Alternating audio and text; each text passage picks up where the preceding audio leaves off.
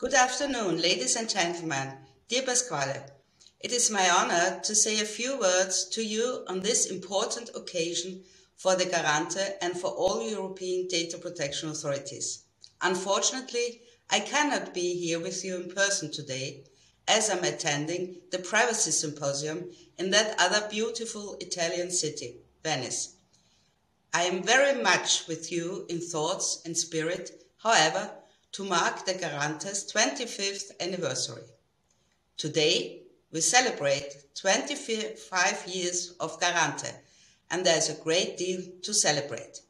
The data protection landscape in Italy has profoundly changed in the last three decades, not just in Italy, but across the entire European economic area and the world at large. The importance of protecting an individual's data and privacy has become much more prominent than it was in 1997.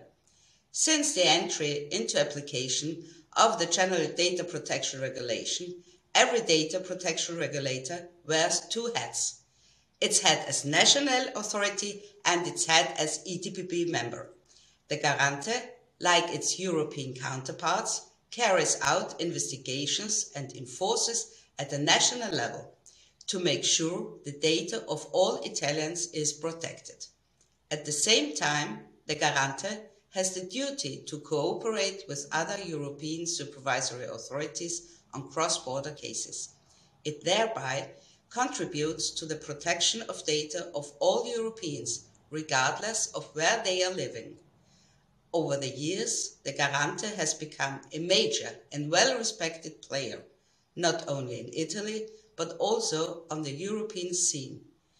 Its many important decisions to protect fundamental rights and freedoms are famous in the data protection community and beyond.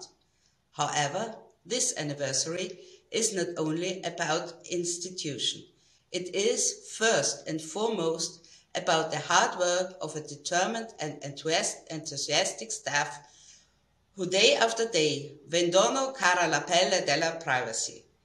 They do so under the expert leadership of Presidente Pasquale Stanzione, Vice President Ginevra Cerrina Feroni, and college members Agostino Ghiglia and Guido Scorza, with whom I had the pleasure to share a session yesterday at the International Symposium in Venice.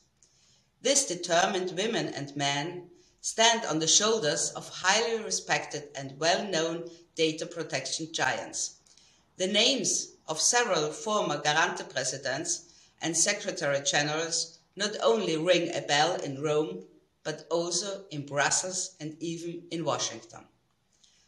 I think, for example, of Stefano Rodotà, a prominent Italian lawyer and the first Garante, who was also appointed chairman of the Article 29 Working Party in 2000 the predecessor of today's European Data Protection Board. And of course, I also think of Giovanni Buttarelli, who went on to become a much respected European data protection supervisor and who I had the pleasure and honor to work with personally. But as I said, the Garante is very much the sum of all its stuff. Behind these famous names hide many others that take the right to data protection to heart and make an effort every day to see it respected. In Brussels and in Vienna, we are highly appreciative of the expert knowledge and dedication of the staff members of the Garante, and we have the pleasure of working with these colleagues on a nearly daily basis. All these men and women do their work with the conviction that privacy and the protection of personal data are prerequisites for human dignity.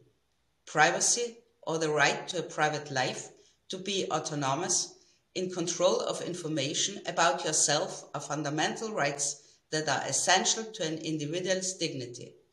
Protecting these fundamental rights is the guiding principle underlying the Garante's work and through the Garante's work.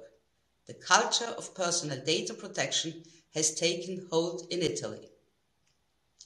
Italians can be truly proud of having the Garante as their supervisory authority. It is an authority that has made a real difference to the lives of many Italians, but also of many Europeans, often taking on a frontline role in standing up for privacy and data protection. The examples over the past 25 years are numerous, too numerous to list here.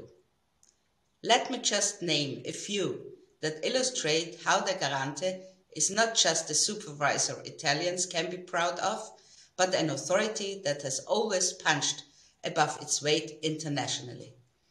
Last year, the Garante took on tech giant TikTok with the aim of protecting Italian data subjects, in particular children. The Garante took it on itself to address the risks of this popular video sharing app, especially for young children. As a result of the Garante's pioneering work, TikTok had to change its policies and implement measures to ban access to users aged below 13 years. Another investigation by the Garante that made headlines worldwide is the one into US facial recognition firm Clearview AI. Clearview AI, a company headquartered in the US, reportedly owns a database including over 10 billion facial images from individuals all over the world, which are extracted from public web sources via web scraping.